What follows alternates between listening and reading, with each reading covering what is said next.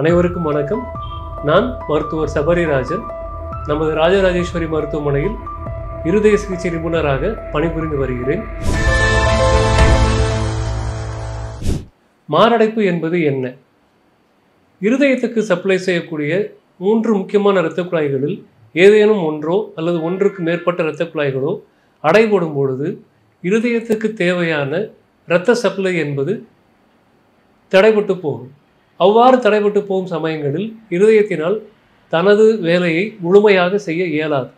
அதைத்தான் நாம் மருத்துவ உலகில் மாரடைப்பு என்று சொல்கிறோம். இந்த மாரடைப்பு என்பது யார் யாருக்கெல்லாம் வரக்கூடும்?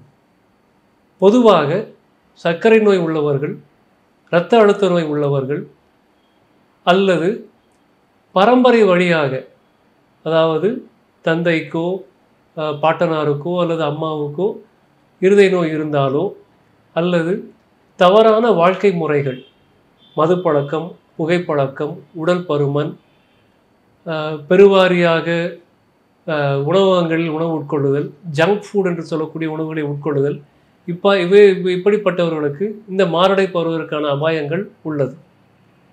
மாரடைப்பு வந்துவிட்டால் அதை எவ்வாறு சரி செய்வது? பெருவாரியாக இந்த மாரடைப்பு இவைகள் முதலில் வந்த காலங்களில் மாரடைப்பு வந்த முதல் நான்கு மணி நேரத்திற்குள் அடைப்பை கரைக்கக்கூடிய மருந்துகளை கொடுத்து விட்டால் எழுபதிலிருந்து எண்பது சதவீதமானவர்களுக்கு அந்த அடைப்பு கரையக்கூடிய வாய்ப்புகள் உண்டு.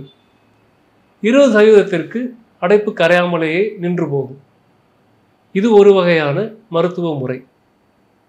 இன்னொரு மருத்துவ முறை ஆஞ்சியோபிளாஸ்ட் என்று சொல்லக்கூடிய நுண்துளை சிகிச்சை முறைகள்.